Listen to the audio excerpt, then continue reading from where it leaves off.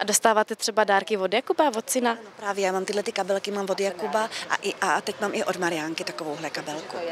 A jak je to teď vlastně s Kubou, protože on uh, s vámi do nedávna snad bydlel, tak jak to je teď? Kde bydlí? No ne, Kuba, Kuba, vlastně to bylo v době covidu, kdy jsme byli vlastně celá rodina pohromadě, protože mám dům a zahradu, takže tam se to dalo přežít. Ale jinak má svoje bydlení a Mariánka taky, jinak prostě děti jsou samostatní, zaplať pámbu.